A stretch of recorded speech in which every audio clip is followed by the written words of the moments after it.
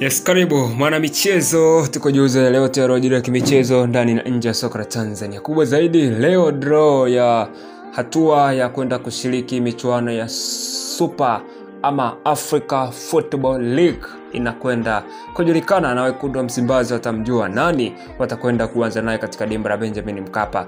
Draw ya hatua ya awali ya robo fainali ya ligi ya soka Afrika African Football League inachezwa leo Septemba 2, 2023 ambapo mwakilishi pekee wa Tanzania na ukanda wa nchi za Afrika Mashariki na Kati Sekafa kwenye ligi hiyo ni Simba Sport atambaini mpinzani wake.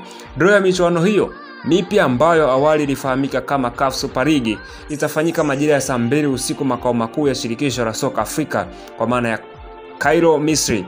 Vigogo wengine watakaoshiriki kubaini mpinzani wao kwenye draw hiyo ni pamoja na Ahli ya Misri, Esperance kutoka Tunisia, Wydad Casablanca kutoka Morocco, Enyimba kutoka Nigeria, TP Mazembe kutoka Congo Diala, Petro di Luanda kutoka Angola, Mamelodi Sundowns ya Afrika Kusini.